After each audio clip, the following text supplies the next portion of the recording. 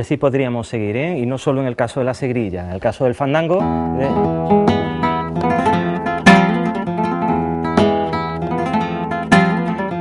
Dos, tres.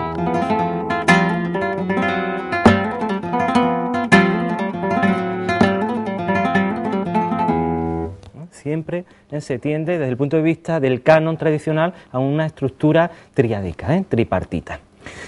Bien, efectivamente, esas son, eh, digamos, esa sería la estructura tradicional, pero vemos que hay estructuras más complejas, de tal manera que pueden dar lugar no solo a la forja de una pieza por soleá u otro estilo, ¿eh? como una macroforma, sino también a formas genéricas o a otras de diversa naturaleza, tales como una suite, con una confluencia de género o una sinfonía. ¿eh? como hoy ya se está haciendo con el flamenco sinfónico. De todas maneras, hay unas características, hay unos parámetros que siempre hay que contemplarlo. Es el caso de que la falseta tiende a la oscilación, con insistencia en la dominante y tónica. ¿eh? Lo hemos visto antes en el caso ¿eh? de, la, de la taranta. Hay como una especie de ostinato en la tónica y en la dominante o por solea. ¿Es suficiente?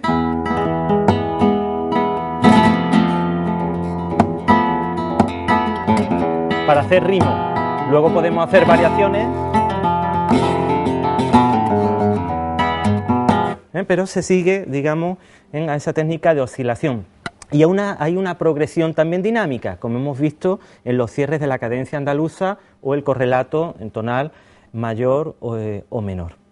Es decir, sería la secuencia subdominante, mediante, dominante, eh, tónica. Sin duda es fundamental, como hemos visto en el caso del acompañamiento, la creación personal o individual, que se asume o no en el marco de la comunidad flamenca, como hemos señalado desde la teoría de los patrones de música rechazados o aceptados de eh, Joseph Martín. ¿no? Es el caso, como hemos visto, las falsetas por fandango de Niño Ricardo o por soleá a cargo de Ramón Montoya, que se reescribe por parte de Sabica mediante un ejercicio de palingénesis o de teoría de las recuperaciones. Incluso la falseta, como hemos señalado, puede ser portadora de la melodía del cante. Es el caso del fandango de Huelva, eh, intitulado Montilla de Paco de Lucía, que está recreando la melodía de Camarón. Pero esto no es nuevo. La taranta de Antonio Chacón eh, es reproducida miméticamente por Ramón Montoya en su rondeña en virtud de la escordatura ¿eh? y posteriormente va a ser recuperada por Enrique Morente en el pequeño reloj. ¿eh? Voy a afinar con Se afina mi en re y sol en fa sostenido.